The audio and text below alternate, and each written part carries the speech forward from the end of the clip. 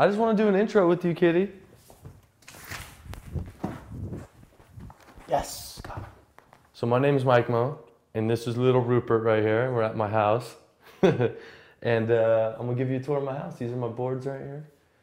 This is my first board right here. So that's obviously, I gotta give that like my favorite, this one. And this one's tight too because I made a tech deck of it, you know. These are like my first 30, I think. I think, I think there's about 30 of them. These are my first 30.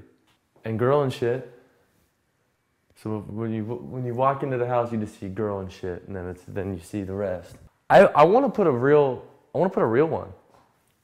That'd be insane. Put a big real one, then you can shoot free throws all day. Like say if it's raining or it's too hot outside or something, you just just practicing right here like it's a gym. How sick would that be? This is what's up right here.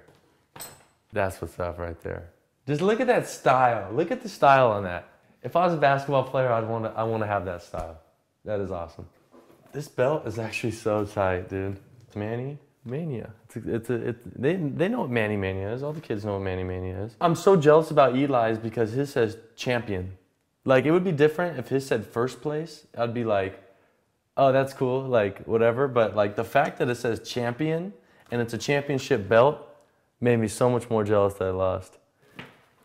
And mine, like, anytime I show this off to anybody, I'm like, check this belt out. They're like, that's cool. They're like, it says second place. And I'm like, whatever, dude.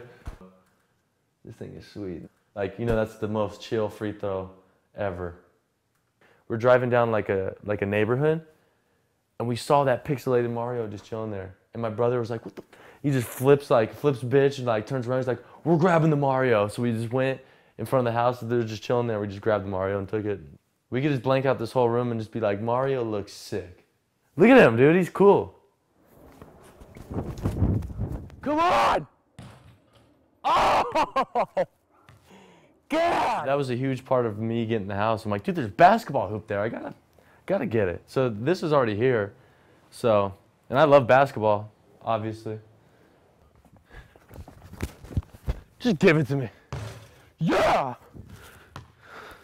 Now we can leave, right? Let's go. We're going. We're going right now.